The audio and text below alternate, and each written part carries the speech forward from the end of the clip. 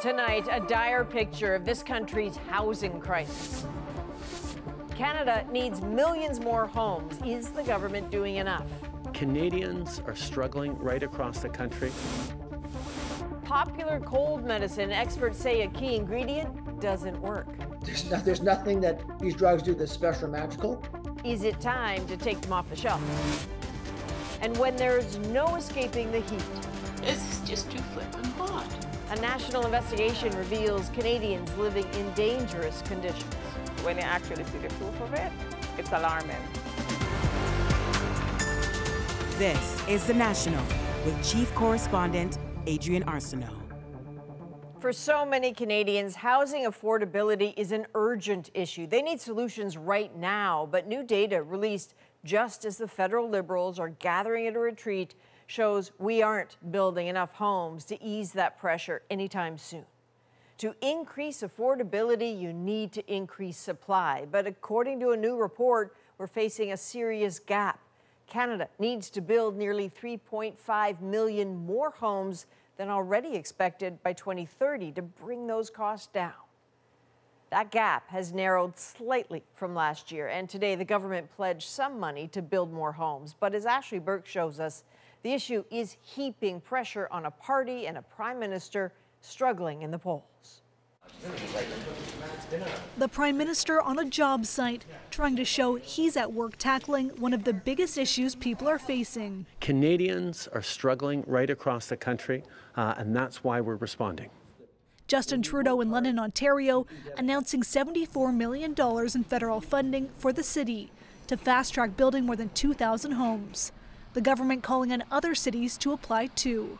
A new standard has been set and we have new expectations. We want you to build houses near transit. We want you to build houses near campuses. But the Canada Mortgage and Housing Corporation now says about 3.5 million more new homes will be needed by 2030 on top of what's already planned to help crack the housing crisis. London's mayor says this deal will help his city's needs.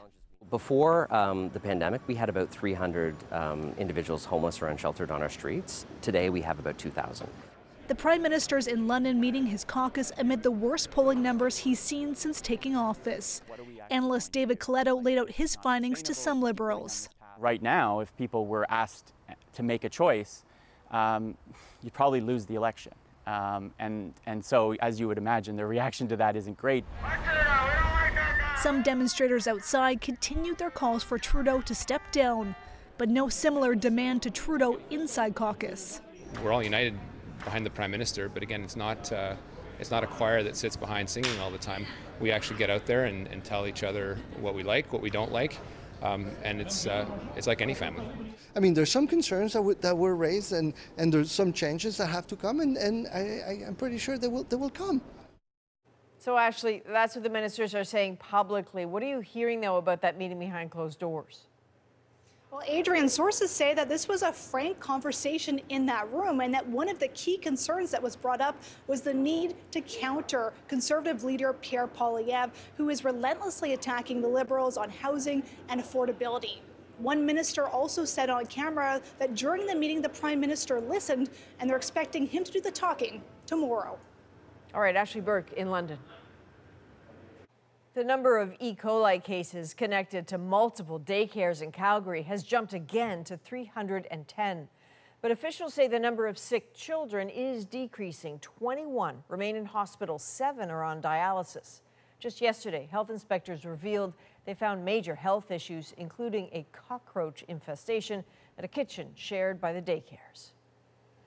Turning now to the catastrophic flooding in the Libyan port city of Derna. In the words of one aid worker, bodies are everywhere. The reported number of dead now more than 5,000, more than 9,000 are still missing after a powerful storm on Sunday triggered the failure of two dams. Derna's mayor says based on the districts destroyed in the flood, the death toll may reach 20,000. Margaret Evans shows us as responders tally the loss in Derna some struggle to hold back tears. Colossal, the only word to describe the damage wrought by the floodwaters or the grief left in their wake. Little mercy for the living left to collect their dead if they can find them. I already lost six people, says this man. We managed to take out three. We did not find the other three. These satellite images, before and after the collapse of two dams near Derna, show just how much of the city was ripped from muddy foundations. People swept away while sleeping, now given back by the sea. This is destiny, says this man. I lost my sister and her daughters. But for some, it was a tragedy that should have been avoided. We'd warned the authorities last week, no, for years, says this man, that the dam had cracks.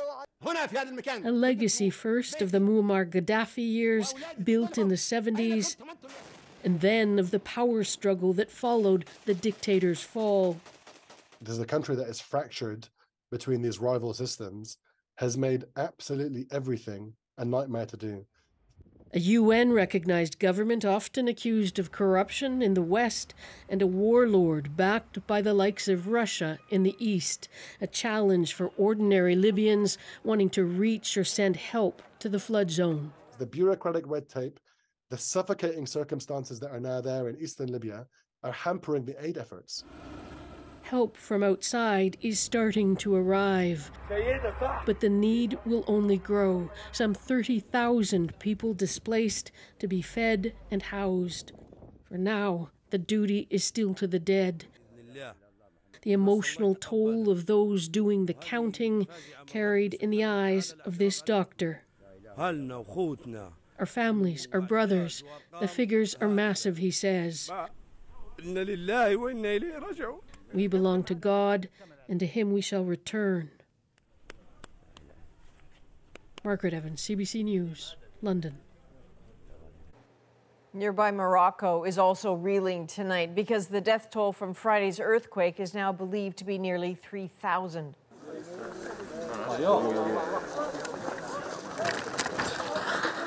So as you can see in the village of Imantala, an aftershock sent rescue crews scattering. Aid is finally in, trickling into the hardest hit areas, but still hasn't reached many of the estimated 300,000 affected.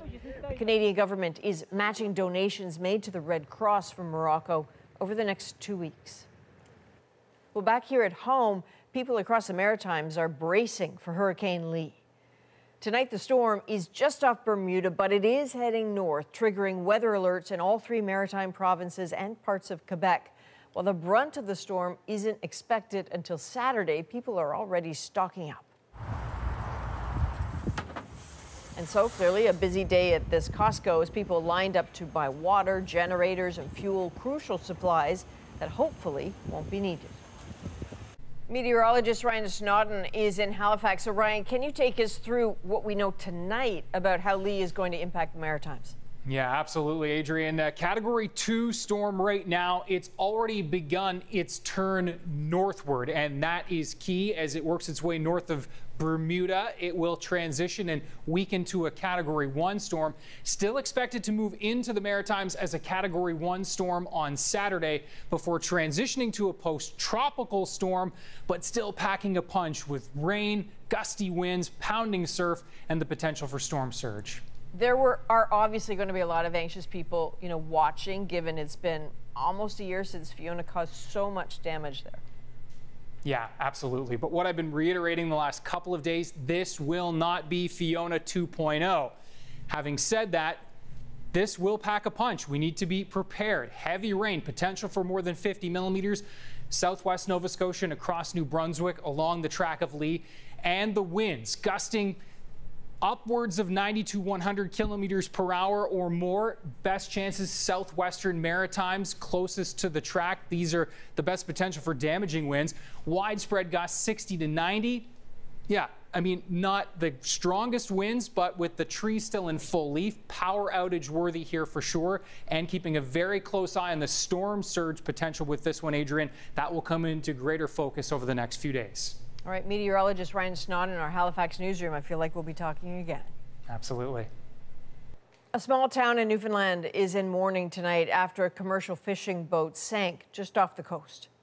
It's like we're all going around as zombies. We don't know what to do. We don't know what to say to each other. It, it, it's a terrible, terrible tragedy for any community, but particularly a small community where everybody is so close knit. Of the four crew members, two died, one was rescued, one is still missing. The Canadian Coast Guard and military continue to search, but they warn time is running out. And a tense 14 day manhunt in the U.S. is over tonight, and a convicted killer is back in custody. Paul Hunter now on the dramatic capture and the moments leading up to it. After all this time, there he is. That's him in the middle with disheveled hair and a Philadelphia Eagles sweatshirt, held tight by those who'd finally captured him. The subject is in custody. Repeating, subject is in custody famously crab walking out of a Pennsylvania county jail two weeks ago, Danilo Cavalcante had been set to begin a life sentence for murdering his ex girlfriend. Instead, leading authorities on a wild manhunt on the run in the wooded countryside for days. Caught on security cams and doorbell cams where he was seen clean shaven, once heard rummaging in a basement Police blared from a helicopter an audio message from his own mother, begging him to surrender, but he kept going. A van was stolen. Then word he'd taken someone's rifle. All the while, the hundreds of police on his trail came up empty until, overnight, a break.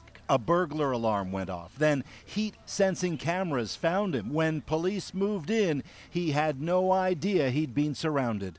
That did not stop him from trying to escape. He began to crawl through thick underbrush, taking his rifle with him as he went. In the end, no shots were fired, and it was a police dog that took him down. Minutes later, in an unusual step, the team then posed with Cavalcante for a kind of victory shot.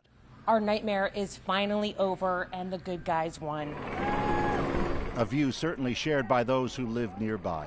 When Cavalcante re-emerged later on, minus the sweatshirt, a crowd had gathered, some shouting at him, as he then began that long delayed trip to state prison. Paul Hunter, CBC News, Washington. Russian officials say a barrage of Ukrainian missiles damaged two ships at a dry dock facility in occupied Crimea.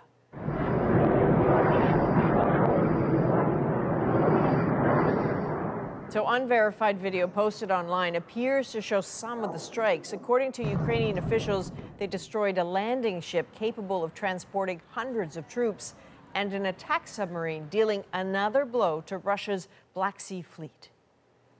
And just as Russia sees more losses, it appears to be hunting for more support for the war, and it seems to have found it. Vladimir Putin and Kim Jong un met for hours in Russia today. As Briar Stewart tells us, while there's no official arms deal, there is a connection that concerns. As Kim Jong un's armored train rumbled to a stop in Russia's Far East, the North Korean leader emerged. The visit was staged to show strong ties and the potential for the nuclear armed countries to team up. Putin showed Kim and his entourage a Russian space launch facility, given North Korea's interest in rockets. Just one hour before the talks began, North Korea launched two short range ballistic missiles. Over dinner, Kim toasted Comrade Putin. We're confident that the Russian army and people will win a great victory in the just fight to punish evil groups, he said. The leaders discussed agriculture, security, and military cooperation. There were no specifics, but U.S. officials are troubled by the talks. They have concerns about any burgeoning defense relationship between North Korea and Russia. Both countries have denied U.S. claims that North Korea is selling Russia ammunition. But if there is a deal, North Korea's wish list could be long. Uh, North Korea is a heavily, heavily sanctioned country. Um, so outside of that, they might be interested in simpler things like food uh, or, or hard cash. And then there are the optics of the visit. Experts say it's a chance for Putin to show that some leaders still want to meet with him. Kim's visit follows last week's meeting with Turkey's leader and a visit in the spring by China's president. Everybody's coming. It's not, once again, not Justin Trudeau, but everybody who is is you know in his universe they all coming uh, to kiss the ring kim is now apparently on his way back to north korea but will stop at a russian defense factory along the way one last signal of how the two leaders could be prepared to help each other briar stewart cbc news london Canada's military is facing surging demands at home and abroad, even as it struggles with recruitment and retention within its ranks. There simply aren't enough soldiers or sailors. David Common now with exclusive access on board HMCS Ottawa. He shows us the impact and the attempts at a solution. Canada's Navy is not big, so sending three ships to Asian waters is a major commitment especially at a time when the entire military is so short of personnel. One in 10 jobs in the forces is vacant. We're understaffed right now. We're heavily understaffed. And Sailor First Class Anton Parker backs one strategy to retain members. It's right there in his hair. And mutton chop sideburns, a relaxation of decades old dress standards in the hopes it'll incentivize people to stay. It was a happy moment. Uh, my mom saw me actually just before I deployed this year, and it's the longest my hair's ever been in my life. And then also, I get to wear a pretty cool mustache now. On board his ship, HMCS Vancouver, a fifth of all sailors are in training. One in ten has been in the military less than two years, and a new recruiting program will soon see those with even less experience. Just a one year commitment to try out a series of different roles in the Navy. Don't like it? Leave any time. To get military experience, to do a period of service, still be close to family and friends, um, and you know, it can be a bit of the try before you buy. The military has warned the situation is going to get worse as demands for the forces increase. Soldiers deployed along NATO's border with Russia, training Ukrainian soldiers, delivering ammunition and weapons for Ukraine, and near unprecedented demand at home to assist in wildfires, floods, and disasters. Everyone is burnt out. Attracting new members made all the more difficult by high profile incidents involving the highest ranks. We have seen scandals related to discrimination and sexual misconduct, and that might deter them from joining the military. Of course, there is the sense of adventure that comes with military life. Deployments like this, though, can last four months for the crew of HMCS Ottawa. David Common, CBC News, somewhere in the Pacific. WestJet says it is revisiting its policy after the union representing cabin crew took issue with this. Who's ready for a home you can afford? Who's ready for some common sense? Conservative leader Pierre Poilievre was allowed to speak over the PA system Sunday night on a flight largely full of people who had just attended the Conservative convention. The union calls it very disappointing that a politician was allowed to do so. WestJet says it was not a political endorsement. The United States is deciding whether to remove some common cold medicines from store shelves. There's nothing that these drugs do that's special or magical. But should Canada follow suit? Residents of Yellowknife are back after a wildfire scare and eager to return to normal. It's been a little bit cuckoo. And he's barely a teen, but he's already scored a major deal. Five, this really is a dream come true. We're back in two.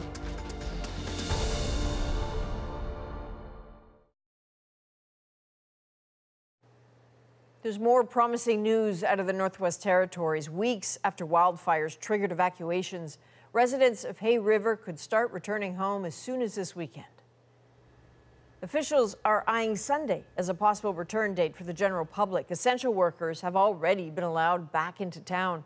Officials will meet again Friday to reassess the reentry plan. And Yellowknife continues to reopen one week after the wildfire evacuation order was lifted, but not without challenges. As Julia Wong shows us, schools and hospitals are scrambling to get back up to speed. For Melody Shaw, it's been a journey to make it to the top of this playground mountain. It's been a little bit cuckoo. After weeks away, her family is back in Yellowknife and ready for a bit of normalcy. I'm looking forward to it for sure. Um, getting back to work and going to school is, is super important, and we need a routine for sure. At this Yellowknife school, crews are scrambling to finish laying down flooring before students come back Thursday, a project put on hold during the evacuation. They're also checking on air filters as smoke from nearby wildfires continues to hang over the northern capital. We do have HEPA filters in pretty much all of the classrooms. Uh, we're going through trying to get filters changed with that and ordering new filters for them. Build those relationships with their kids as soon as they come in. On top of that, staff will be paying extra attention to how students may be feeling. Right now, we're just focusing on really having a calm, um, relaxing start. What's really important is just to give the kids the space to talk about their own story. And it's not just schools. We're getting really close to our full service capacity. At Yellowknife's hospital, more inpatient beds have opened, and the emergency room and pediatric units are up and running. But labor and delivery is still suspended, and patients sent to Alberta and BC need to be flown back. What are the care needs of all of those people today?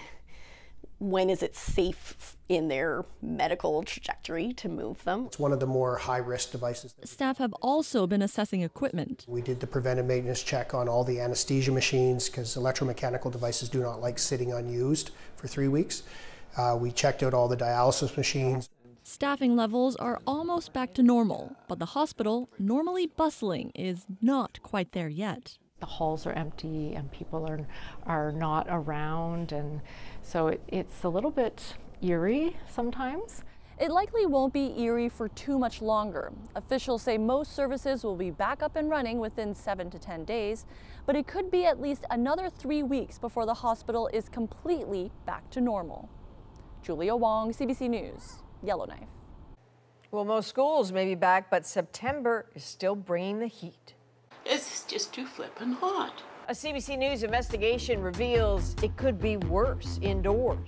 If it's 26 outside, it's like 33 degrees inside. And some students return to full classrooms but empty libraries. Taking away books is considered censorship. But first, U.S. health experts say a common decongestant doesn't work. Many of these drugs are not treating the underlying cause. The National breaks down the stories shaping our world. Next.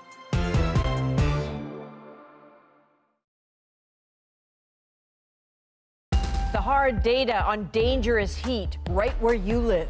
It's like 33 degrees inside. All summer, in 50 homes in five cities, our exclusive experiment revealed a silent killer. I sleep maybe two and a half hours, half an hour at a time. It can rob you of sleep, shorten your life. And your heart has to work harder. Even end your life. Here's Tara Carman to show you what the heat sensors our investigative units supplied, measured, and to break down the risk to millions of Canadians. The heat, the humidity is sweltering. Sweltering heat today. There's been a heat warning. Heat warning has been issued by the health unit.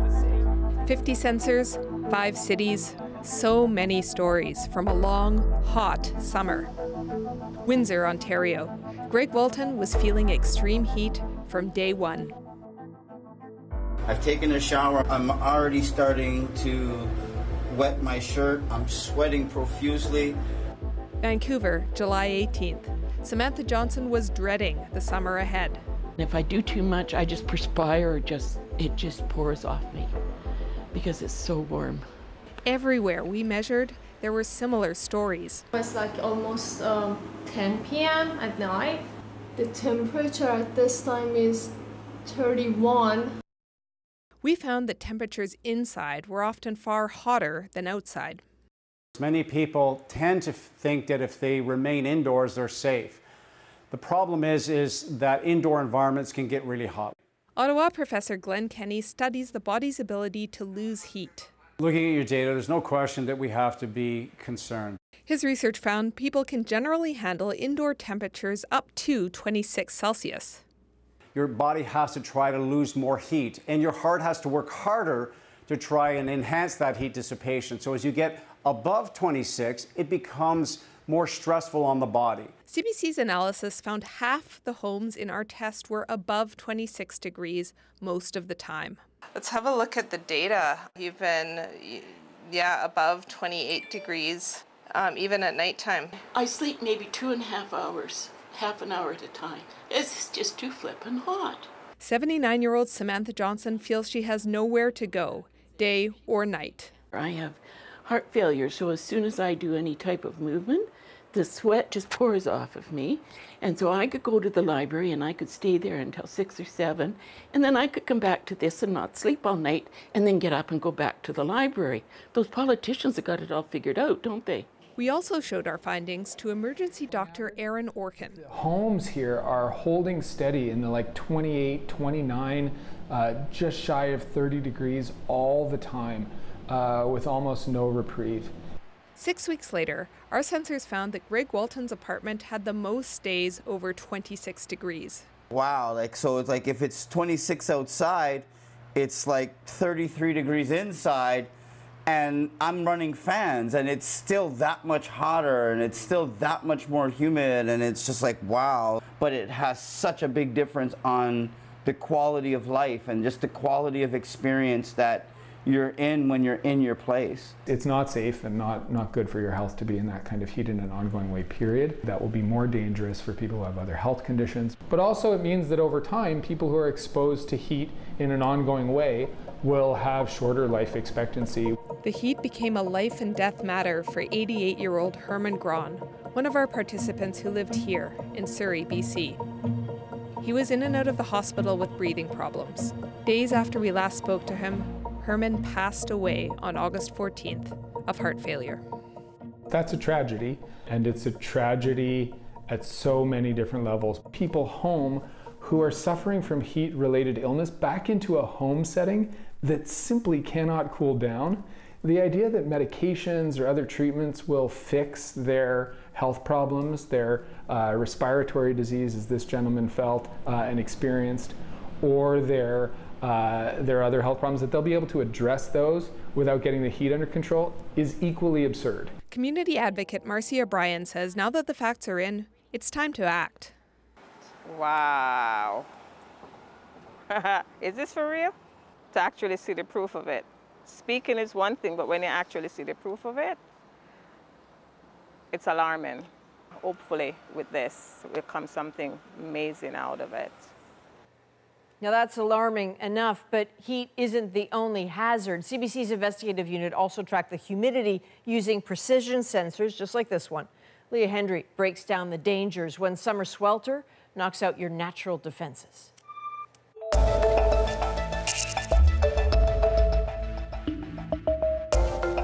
Last week in Montreal, a heat wave brought hot, humid days. But when the sun went down, there was still no relief eastern and central Canada, you have the added effect of humidity, which can keep buildings hot well into the night. It is currently 28.5 degrees in my apartment. We spoke to three of our 50 heat monitor volunteers about what the data said about that humidity effect. First up, Leah Raymond Marshall. It's roasting in her newly built student co op that doesn't include air conditioning. As soon as you start trying to get to sleep, you can feel how hot you are. She says she could buy an AC unit, but it would block the access to her balcony. During last week's heat wave, the inside humidity was nearly 70%. It's like, you know, when you open the oven and you get the like burst of hot air, it feels like that, but all the time. Um, I'm hyper aware of how much I'm sweating right now. So this is our environmental chamber. Researcher Danielle Gagnon has studied the added effect of humidity physiologically on the body. Our main defense mechanism to stay cool is to sweat, and what really cools us off is the evaporation of sweat. The more humid it is in the air, the harder it is for that process to occur. So we might still produce sweat, but instead of it evaporating, it'll drip off onto the floor and then we lose all of its cooling power. What ends up happening inside of our body when we're not able to cool off? Our internal body temperature will increase more for a given environment. Um, that can obviously lead to dangerous things if, if body temperature increases to very high levels. There. Good. Bernadette Mamo lives with her 86 year old mother in Toronto. Both of them have high blood pressure. We got the doctor's appointment on Friday. We can get out of this heat. They tried installing an air conditioner, but it blew the fuses in the old building her mother's been renting for more than 50 years. I worry about her getting heat stroke, even though she's not outside. The CBC heat monitors show that with the humidity, the evening temperature inside felt as high as 31 degrees. How does that make Mamo feel? Ugh. Maddening, aggravating. We're paying rent. I'd like to be able to stay in my home comfortably, but it's like we can't. In Raymond Marshall's apartment, with the humidity, it got up to 34 degrees. And that's not all. When we looked at the data, it was 10 degrees hotter in here at some point than it was outside. Okay. Meaning that it was 10 degrees cooler outside. Really? I should, maybe I should start sleeping outside. It's surprising too because you said your building was built in 2020. You know, when you make a building in Montreal, you think about how the, the cold is going to affect. Well, we should start thinking about how the heat is going to affect us. New buildings need to be designed so that they don't uh, store heat uh, in the summer. Dr. David Kaiser says the city's daytime cooling centers don't help people at night when the risk is the highest. If we want to be realistic and we're thinking about uh, reducing that risk at night, then it really comes down to uh, building, housing, um, and uh, urban planning. Finally, when humidity was factored in, we clocked the apartment that felt the hottest of all in our project, and it belongs to Hi, how are you doing? How are you? MBA student Sridharan Venkipuram. The humidity in your apartment was 70% one day in July, at the beginning of July. And you actually, your apartment here reached the highest temperature of any of the other sensors that we have in Canada. It reached a temperature of feeling like about 39 degrees in here. That's pretty high. What do you think about that? Uh, It's, it's really surprising, but then yeah, it's, it's really loud. I'm surprised I got through this. Now that Venkipuram has graduated, he's looking for a new apartment. For his quality of life, something with shade, or better yet, air conditioning, will be a priority. So, Tara, I'm curious about something. The federal government has a climate adaptation plan that aims to eliminate deaths from extreme heat by 2040. What's your sense of how realistic that is? Yeah, so my colleagues at What on Earth put that question to the federal environment minister, Stephen Guilbeault, and he said this is not something the federal government can do on its own because a lot of what needs to happen, like setting up systems to identify and check in on vulnerable people or changing building codes, is actually the responsibility of provinces or cities. So meeting that target depends how well everyone works together. And even with that, though, that target is still 17 years away. I mean, clearly there are people who need help right now. Yes, 17 years is a really long time. And Guilbeault says the target is 2040 because things like retrofitting all the buildings in Canada so that they don't overheat are expensive and take time. But it's clear we need to protect those who are vulnerable much sooner than that. So the federal plan notes extreme heat waves are the deadliest weather events in Canada. And we've just heard now that the BC government is proposing changes to the building code to require that new buildings have a room designed not to exceed 26 degrees. All right, Tara Carman in Vancouver, thank you. And there's much more of Tara and her team's findings on cbcnews.ca. You can check that out and see how they did it. Next, some students return to school and find libraries half empty.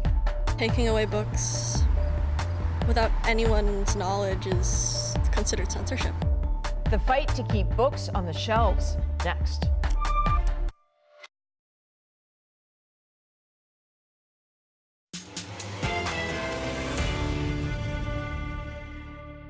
High school libraries stripped of books in the name of diversity.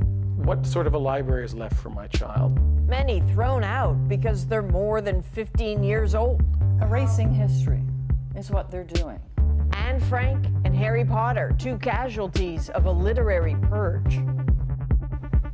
Angelina King broke the story that has everyone talking and the Ontario government taking action. She breaks down why a school board culled centuries of work and wisdom and simply threw it all away. I did go to the fiction section of lib- my library and I saw this empty shelves on the first day of school. And sections that have been completely erased. Reina Takata says more than half of the books at her Mississauga school library are gone, including her favorites like Harry Potter and The Hunger Games. Taking away books without anyone's knowledge is considered censorship. CBC News has learned thousands of books have been removed within the Peel District School Board, many likely ending up in the landfill. Like most libraries in Canada, Peel schools are to weed out books that are damaged or outdated, but the board is going further.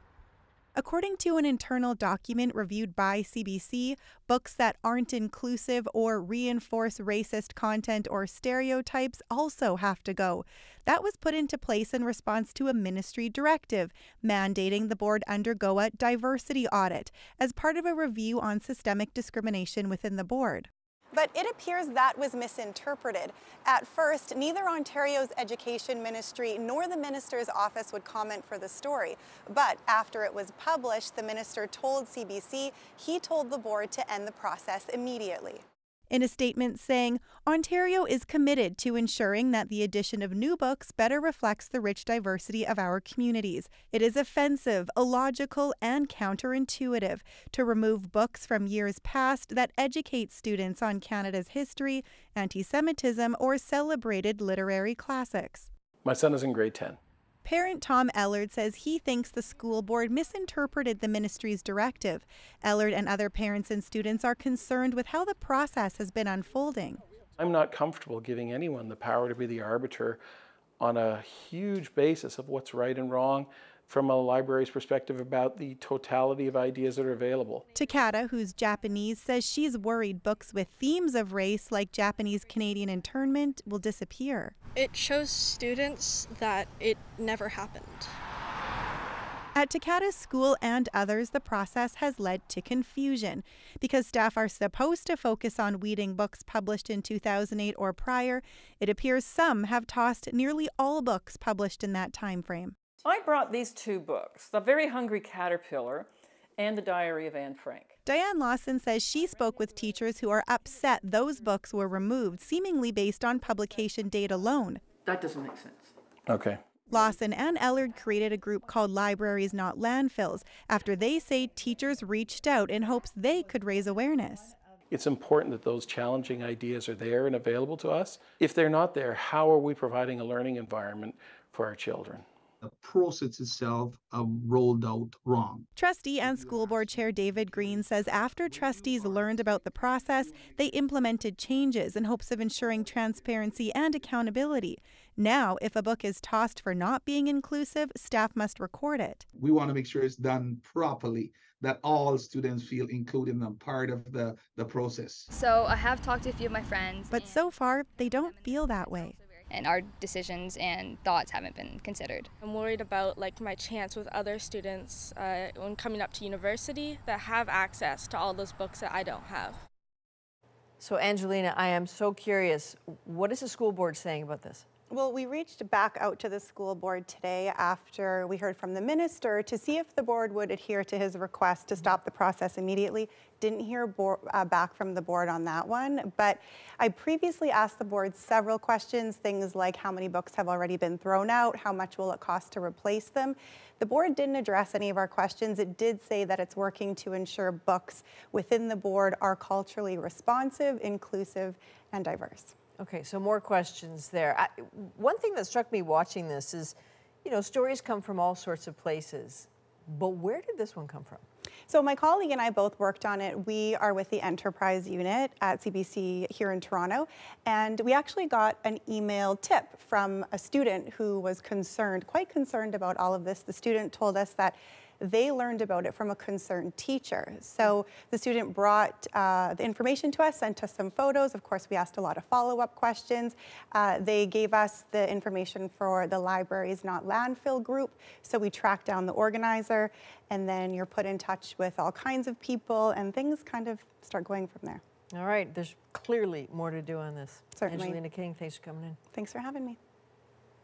And another story we're working on how the dangerous art of storm chasing can shed new light on climate change.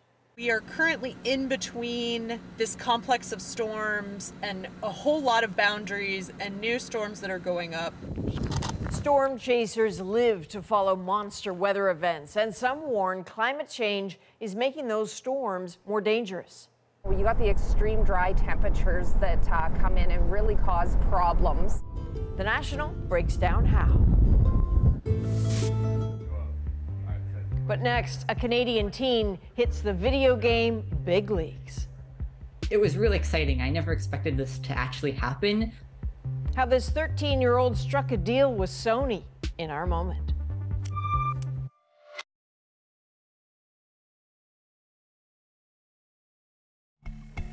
So this is a trailer for a new video game coming out on PlayStation 5. But here's the best part. It was entirely developed by a 13-year-old from British Columbia. So Max Trust of BC is too young to vote or drive, but his video game career is already blasting off into the stratosphere. The tech prodigy is our moment. I'm Max, I'm 13 years old, and I'm an indie game developer with my own game studio. I started working on Astrolander a few years ago. It was originally just a small hobby project, but now it's coming exclusively to PlayStation 5. So when I was originally developing the game, I was exhibiting at a few events to get feedback on the demo. And while I was at one of these events, Seattle Indies Expo, um, I met the PlayStation team. They liked the game so much that they decided that they would offer me the chance to bring it to PlayStation 5 it was really exciting. I never expected this to actually happen. Um, I thought this was just going to be a small release on PC Steam. It's just amazing. So the cyberquacks are have stolen the most valuable programs, uh, MVPs, and you have to rescue them from the giant uh, rubber ducks with laser eyes. You can just go sideways. We'll just go sideways. I received so much positive feedback and help from the community. They love the game so much, and then when they find out it's developed by a 13 year old, they're just really shocked and amazed. I started game development when, when I was around six years old. It really is a dream come true. Never give up, always follow your dreams, and you can do anything. 13. He's 13. Max, you are incredible. Apparently, what one of the very cool things about this video game is that it uses the DualSense controller. So you get physical feedback when you push the buttons uh, and, and triggers and whatnot. And of course, Max is already working on a sequel, as you do. For all of us here at the National, thank you for being with us. You can watch anywhere, anytime on the free CBC News app and subscribe to the National's YouTube channel. I'm Adrienne Arsenault. Take care.